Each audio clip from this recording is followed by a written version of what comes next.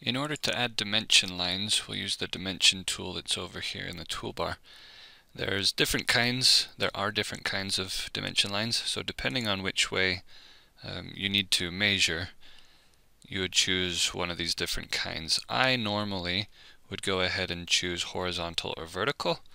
Uh, for the most part, that's the one that works most often for me. So what you'll do is you'll come over and click where you want to start and then you drag and let go. And then as soon as you let go then you can drag off to a side and let go there. And that will add a dimension mark.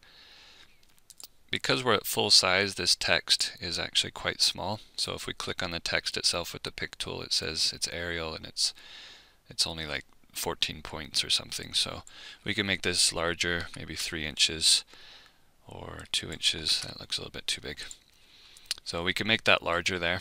Um, you can also change the style of your lines if you need that to be those to be thicker. You can change the point size on those so that they show up a little bit better.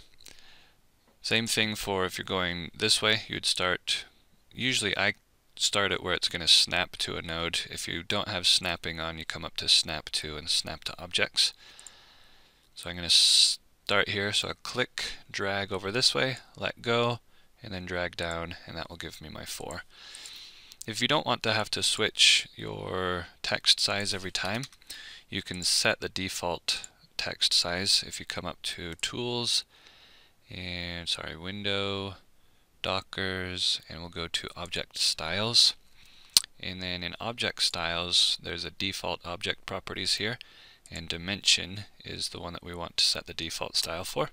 So instead of Arial at 0.167, we could switch this to 1 inch.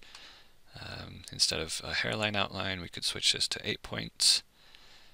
And then we can say set as new default document, so we just click on this button here, and that way every time we start a new document, that's going to be our new default.